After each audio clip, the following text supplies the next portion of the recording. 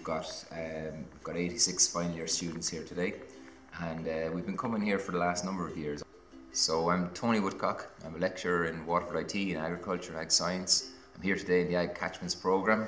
Uh, we're, we're here with the final year Ag Science and Land Management students as part of their soils module, uh, visiting the catchments out in in, uh, in, in, in, the field and seeing seeing the equipment and seeing the, the soils and, and, and being brought around by the advisors there, Eddie Burgess and Mark.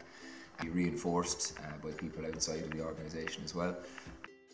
Hi, uh, my name is Ailish Osborne and I'm from Castledermot in County Kildare. I come from a beef and tillage farm and today we're here in Teagasc and Enniscorthy. Um, I'm currently studying BSc in Land Management. I graduated last year from BSc in Agriculture so uh, this is a continuation to get my level 8 minutes and we got to see how the kiosk works.